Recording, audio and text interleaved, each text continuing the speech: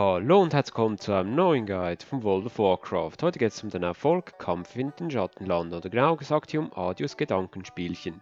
Bei dieser Weltquest müssen wir Adius, den Peiniger, hier besiegen und der befindet sich im Gebiet Ravendreath bei etwa 6141.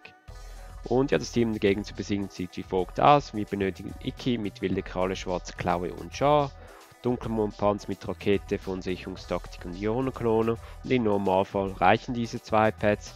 Eiserne Sternchen habe ich als Alternative ähm, hier im Team.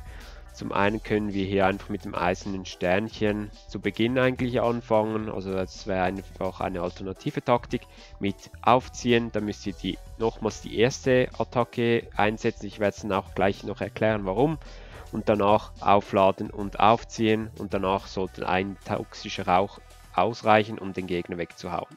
Aber eben für diesen Guide verwende ich jetzt diese Taktik hier.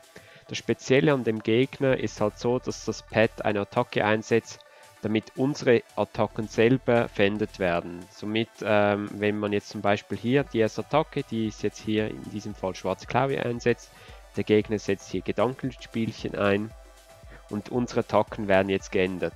Die erste Attacke verringert unsere Gesundheit, die zweite betäubt uns und die dritte äh, sperrt halt Fähigkeit 1 und 2 für 9 Runden. Wir setzen jetzt in diesem Falle setzen wir das ein. Wenn ihr jetzt mit der eisernen Sternchen Taktik arbeiten würdet, würde ich hier diese, also diese 25% äh, Gesundheit in Kauf nehmen. Aber jetzt für hier reicht es aus, wenn wir die Fähigkeiten 1 und 2 sperren lassen. Die werden wir sowieso nicht, nicht mehr reinsetzen und danach lassen wir einfach die Schar durchlaufen, bis halt Iki weggehauen wird.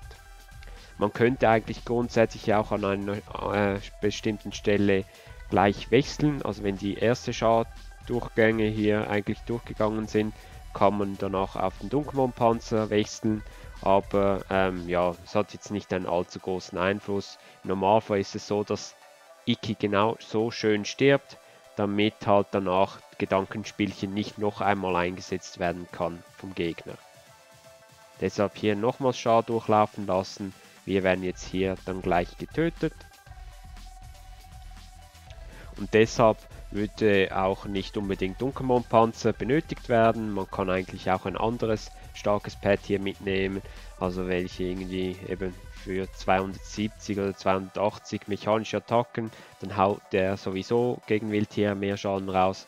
Ähm, also zum Beispiel, zum Beispiel der Zeppelin mit einer Rakete sollte ebenfalls den Job hier ja, ohne Probleme erledigen können, aber jetzt ein Panzer setzt einfach hier Ionenkanone ein und haut den Gegner weg. Und ja, das war es eigentlich für diesen Guide. Ich hoffe, ich konnte euch dabei helfen, diesen Gegner ebenfalls zu besiegen. Ansonsten wünsche ich noch viel Erfolg dabei und viel Spaß. Bis bald!